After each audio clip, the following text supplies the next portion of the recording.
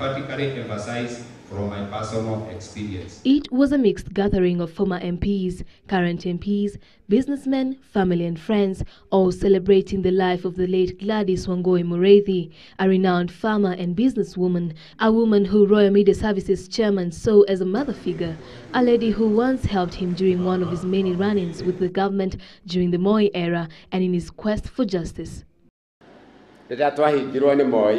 When the Mathu paper was closed down during the Moi regime, there are files that were very important that were being sought after, and we knew that if they were ever found, we would never go to court.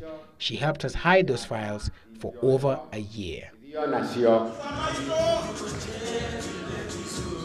And celebrate her life they did. Wangui was a staunch Christian who was always ready to mentor many. Nairobi Metropolitan Minister Njeru Githae took the opportunity to ask Kenyans to support the Kenya's Defense Forces incursion into Somalia.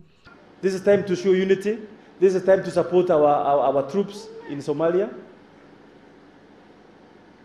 But instead, the Matatu driver, the Matatu owners, the drivers won't go on strike at this critical time. The lecturers won't go on strike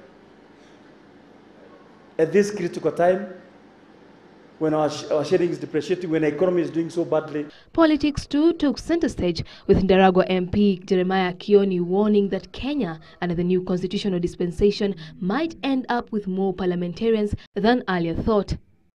But if you have not worked out the numbers, you still have it wrong.